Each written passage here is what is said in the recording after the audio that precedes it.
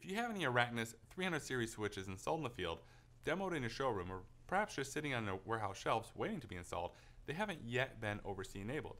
The great news is, with the latest firmware update, you can easily add this feature to each device. In this how-to video, we're going to walk through the process of enabling OvrC access to each 300 series switch by first logging in and updating the firmware, and then logging into OvrC to claim those devices. However, before we begin, you want to remember that you need to be on the same local area network as the 300 series switch, unless you're set up to VPN into that network, in which case you can perform this update remotely. Let's go ahead and get started. Begin by logging into the switch. If for whatever reason you can't remember its IP address, or it's set to acquire the address via DHCP, using a network sniffer like Fing can help you locate it. Once in the system status page, navigate down the left column to the Maintenance tab and click on File Management. In the bottom table labeled Firmware, go to the last line to Upload Firmware.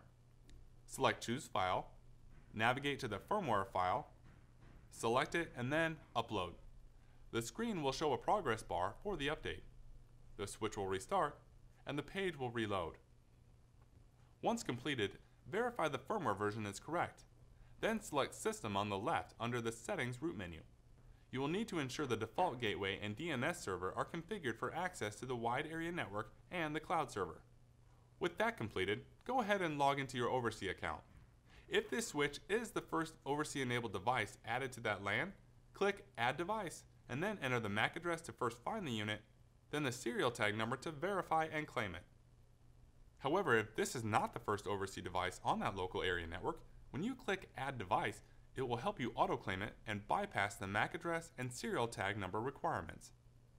Once added, you have the ability to pertinent features like port control, such as cycling PoE power on and off, seeing port status, remote OvrC firmware updates, and even direct access to the switch's local user interface.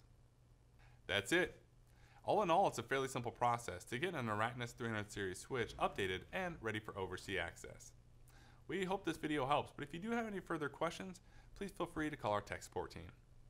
Thank you very much for buying with Snap AV, and as always, happy installing.